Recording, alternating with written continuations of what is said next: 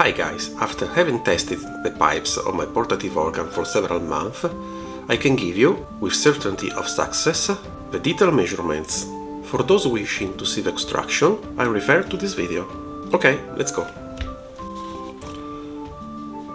Okay, some of the measures always repeat the same, like this inner part of the cup, the thickness, the height, the depth of internal milling of a cup. The depth of the throat also does not change. The top of the block and the total height are the same for all pipes. The 8 degree inclination is also good for all pipes. Okay, before seeing the internal block in detail, I will explain the table with the measures. The first tab is the note corresponding to the pipe. The second tab is the pitch, that is the frequency corresponding to the note of the pipe. This parameter can change according to the tuning you make and the tuning fork you choose. The third tab, T, is the thickness of the pipe walls, as indicated here. The fourth tab is the wind sheet of the pipe, as indicated in the drawing. The fifth tab is the height of the mouth.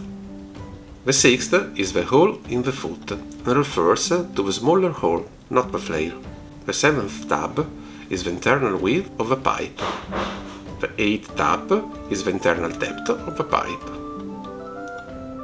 And the last tap refers to the internal length of the pipe, a length that goes from the mouth to the end, therefore without counting the block.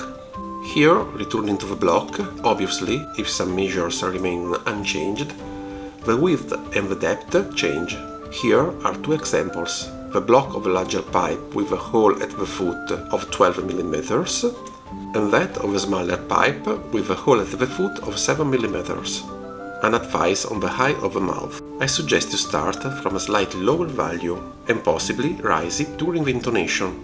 Another note, the length shown here is abundant. This allows you to have margin when tuning. Okay, if I was useful, please support me to subscribing to the channel. See you next time. Bye!